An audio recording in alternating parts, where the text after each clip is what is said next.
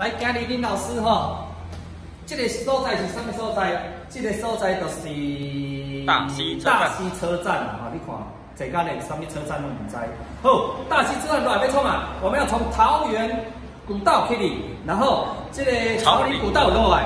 好，这就是今天林老师要带你们到台湾的东北角的一个很有名的登山步道。好，听，嘿，林老师今麦已经到这个登山口，来，登山口就是底下。大家有没有看到？从大溪火车站。到这里零点八公里，然后呢，我们就要开始走桃源谷这个地方五公里，然后就沿路一直走上去。那这个地方非常的优美，等一下林老师会跟你沿路做解说。走，跟我走吧。好，这个地方应该就是桃源古道的真正的入口了。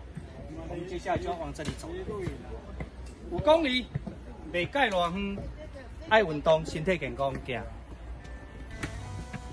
我现在走到这个小小的羊肠小径，就只有一个人可以通过这样的一个范围。有跟大家提醒哈，这个石板会有青苔滑倒的危险，所以大家在爬的时候要特别注意啊。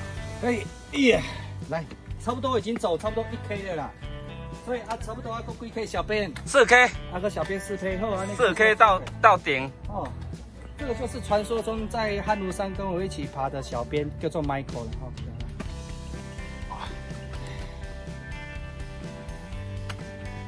在北桂顶当中，已经有一个不行下去了，所以呢，切记爬桃源古道要睡饱，不可以摸鱼。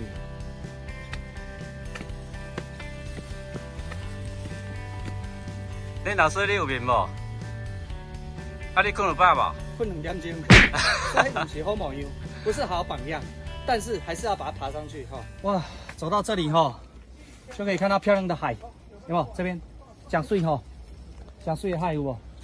就一边看海。其实说在桃园古道这边，就沿路都是以山，然后沿着海，然后这边是山崖嘛，所以看起来蛮漂亮的。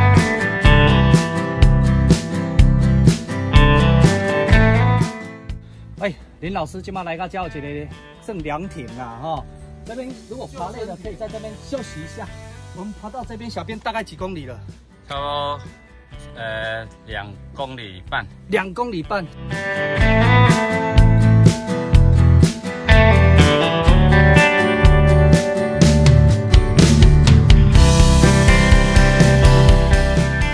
哦哦，来来，今晚已经爬来这个什么？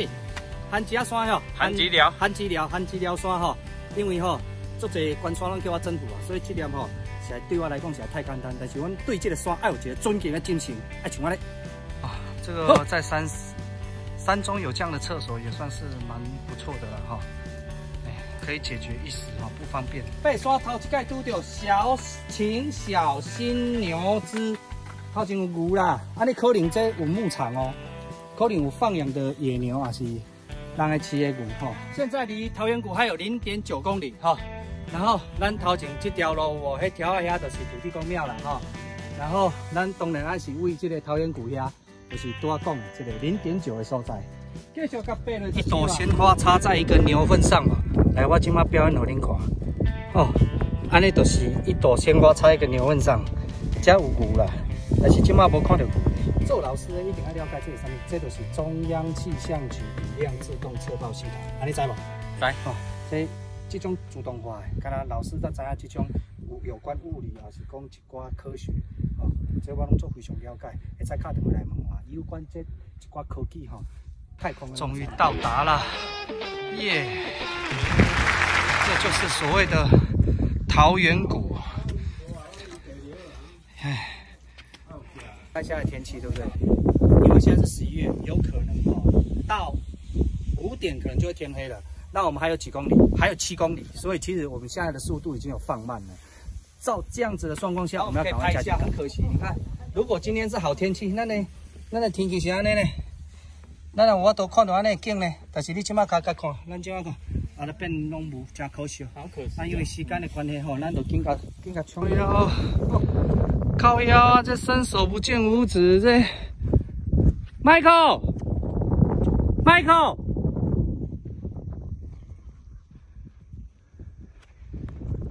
草岭线步道，哎、还有四点五公里，加油！哦，这个也不好走哎、欸，不好行，真正不好行。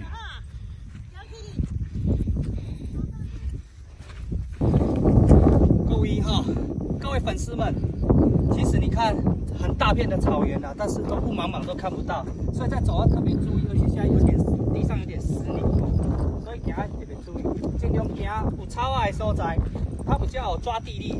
如果你走这个，哎，good，哎，good，哦，那这边有个风化的地标，我我们在家到位，这边茫茫，但是行到这里去，要特别注意，好像在这边里啊。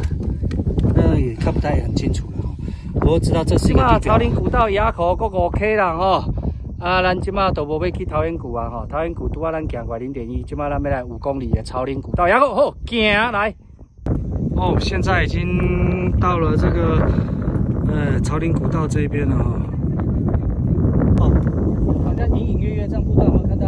然后哇，好可惜哦，刚刚那边可以看得很清楚，现在又来了哈。那我们往下走就是。垭口是不是？垭口还没还没到，它是朝林古道了。嗯。好。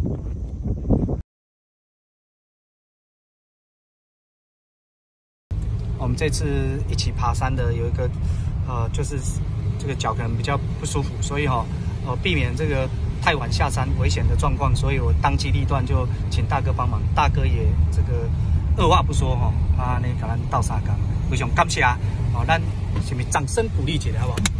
粉丝们别忘记订阅 YouTube 林老师，还有 Facebook 我是北屯人，还有 IG 俊口，谢谢大家。